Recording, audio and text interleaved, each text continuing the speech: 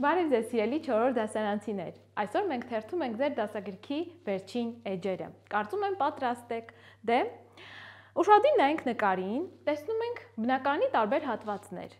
Հյուրասենյակ, խոհանոց, ննջարան, պատշգամբ։ Եկեք դուրս գանք պատշգամբ ու տեսնենք թե ինչ է երևում ձեր պատշգամբից։ Շատերից պատշգամբից երևում է Երևանի տեսարժան վայրերը, Գարեգի Նժդեի հրապարակը, Կասկադը, Հանրապետության հրապարակը, որևէ դաշտային տեսարան է երևում, բայց մեծ մասից պատշգամբից երևում է Արարատ լեռը։ Ում պատուհանից էլ չի երևում, վստահ եմ, հաստատ եթե հայտնվեք այնպիսի մի տեղ, որտեղ պատուհանից երևում է, բոլորիս ուշադրությունը այն գրավում է։ Եվ բացենք H 173 միասին Իմ հարևան ճնճղուկն ու ես, տեսնենք, թե մեր հերոսի պատշգամբում ինչ է կատարվում։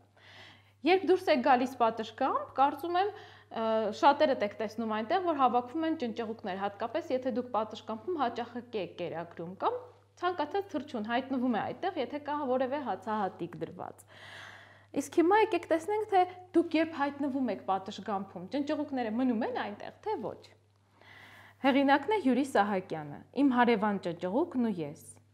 Իմ հարևան ճնճղուկն ու ես օգտվում ենք նույն պատշգամբից։ Պատշգամբը մեզ երկուսից տեղ չի անում միանգամից։ Երբ ճնճղուկն է պատշգամբում, դուրս չեմ գալիս ես պատշգամբ։ Երբ որ ես եմ պատշգամբում, ճախրում է նա ուրախությամբ։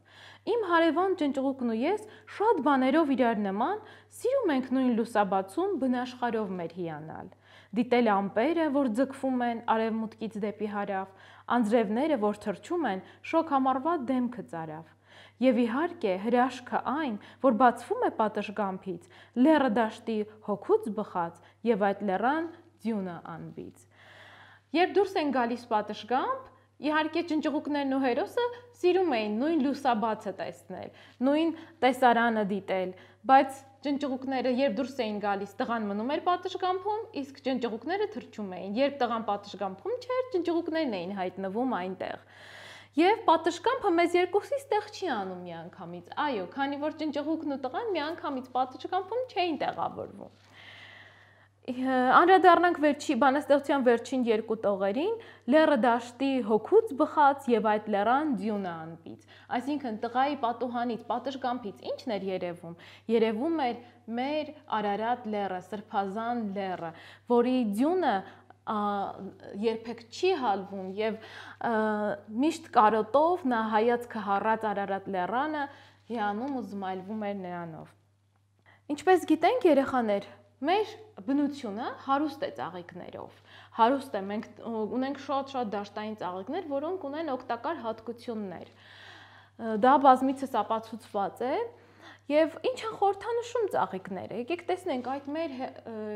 հիասքանչ բնությունը ինչպիսի ծաղիկներով է հարուստ եւ ինչ են խորթանշում ծաղիկները։ Օրինակ երիցուկը նշանակում է པարզություն, Մանուշակը համեստություն, զանգակածաղիկը շատախոսություն, նարգիզը եսասիրություն, հովտաշուշանը քնքշություն, շուշանը մաքրություն եւ իհարկե անմոռուկը հավատարմություն։ Չմոռանանք նաեւ, որ անմոռուկը խորհրդանշում է հայոց մեծ եղերնը, այսինքն մենք այդ ծաղիկը ընդունել ենք որպես այդպիսին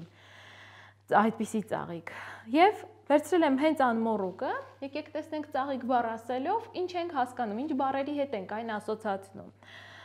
Ծաղիկ, մայրիկ, նրբություն, քնքշություն, բուրմունք, քույրիկ, ես կարող եմ թերթերն ավելացնել, երեխաներ, չէ՞ որ երեխաներն էլ հենց մեր կյանքի ծաղիկներն են։ Թերթերը շատացնել ու գրել այնքան բառեր, որովհետև իրոք շատ բառերի հետ կարելի է ասոցացնել ծաղիկ բառը։ Եվ հաջորդ դասը, որ ուզում եմ միասին քննարկենք, դա դաշտային ծաղիկներ Երվանդ Պետրոսյան։ Սար ու ձորերի, լեռնալանջերի, դաշտ ու անտառի քնքուշ ծաղիկներ։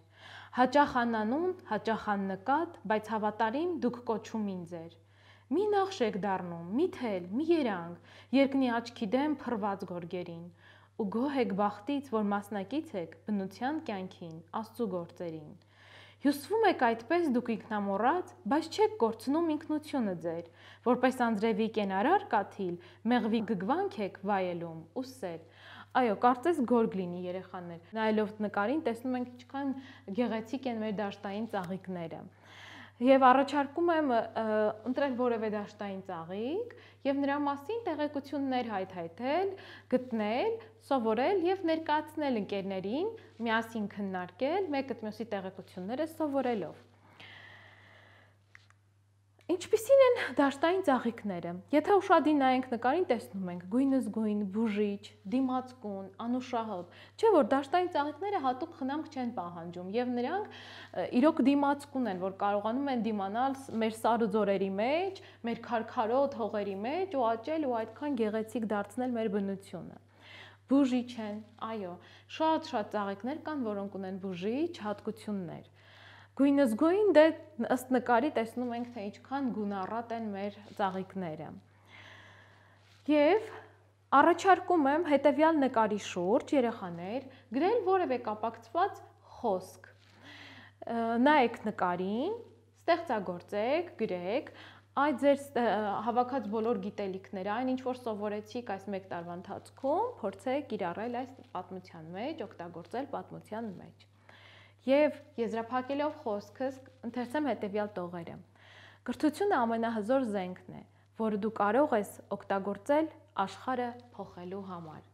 Սիրելի երեխաներ, կրթվեք եւ եկեք միասին փոխենք աշխարհը։ Այն դարձնենք ավելի բարի եւ դառնանք աշխարհին պիտանի, մեր երկրին պիտանի մարդիկ։ Շնորհակալություն շատ։